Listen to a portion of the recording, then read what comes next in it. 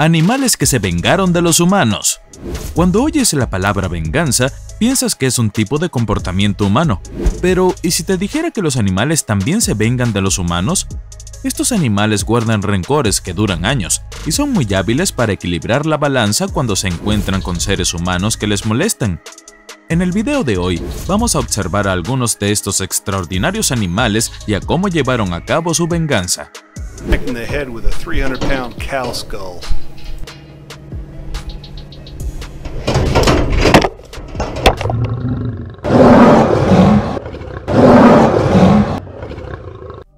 Número 10. Dejar que los perros mientan. ¿Has oído alguna vez a alguien decir que hay que dejar dormir a los perros? ¿Cómo te lo has tomado? En este video, como esta frase, debe tomarse tanto en sentido literal como figurado.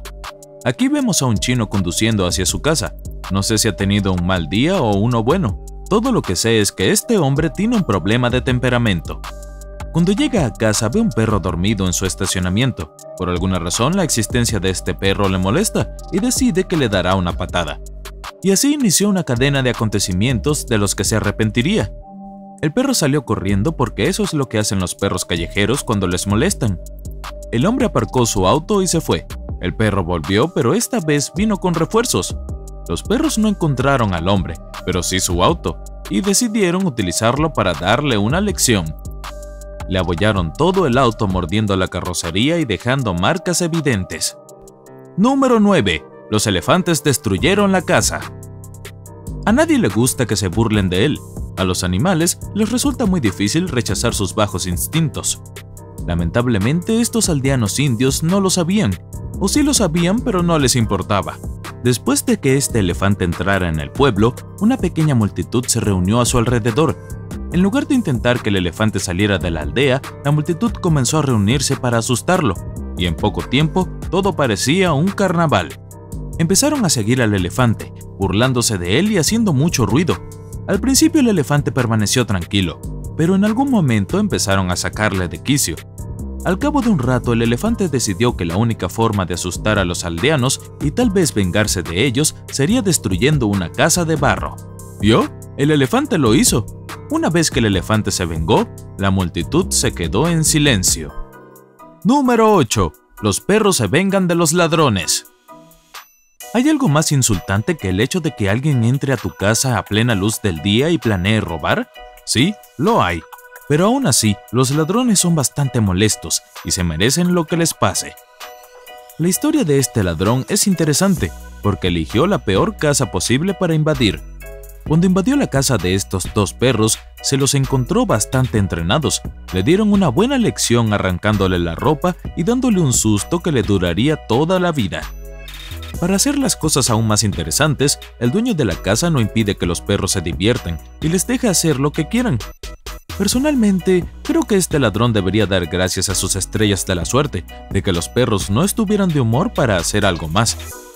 Después de un rato de arrastrar y gritar, el hombre consigue subir a un lugar donde los perros no pueden alcanzarlo. Sin embargo, todo es inútil, pues en cuanto vuelve a bajar, los perros van a por él. La próxima vez se lo pensará dos veces antes de elegir el robo como camino. Número 7. El avestruz no se toma a bien que le tomen el pelo. A la mayoría de los seres humanos no les guste que se burlen de ellos, a pesar de ello encuentran divertido burlarse de los animales, lo que demuestra lo egoístas que somos. Aunque a menudo nos salimos con la nuestra, a veces el karma nos alcanza, como le ocurrió a este hombre. Después de intentar burlarse del avestruz, descubre algo que la mayoría de la gente ya sabe. Los avestruces son bastante rápidos, grandes y muy buenos pateando cosas. El avestruz le persiguió y le dio unas cuantas patadas, Estoy seguro de que este hombre no se atrevería a burlarse de un avestruz nunca más. Número 6. Cuando un elefante ha tenido suficiente. Lo que parece una especie de desfile de elefantes se intensifica en medio de una calle. Este elefante está harto de que lo manden y reacciona. Un hombre que probablemente sea uno de los cuidadores toma su bastón y sale a la calle. Cuando se ve que el elefante está enfadado y no sigue las indicaciones, corre por su vida. Otro hombre que también está en la calle deja su bicicleta y huye del lugar. Este elefante está enfadado. Se lanza contra un auto blanco y lo destroza, como si fuera una caja de cartón. Obviamente este elefante ya no se une al resto del desfile. Número 5. El avestruz contra el hombre. ¿Qué hace la gente normal cuando ve un animal majestuoso como el avestruz? Bueno, la mayoría saca sus teléfonos y hace una foto, otros hacen un video, algunos se asustan y salen corriendo. Todas estas son reacciones válidas, pero veamos lo que realmente no debes hacer al encontrarte con uno. Este hombre pensó que sería divertido burlarse del pájaro gigante. Corre tras el avestruz y empieza a hacer monerías. Toma una piedra e imita al pájaro. Fue un gran error.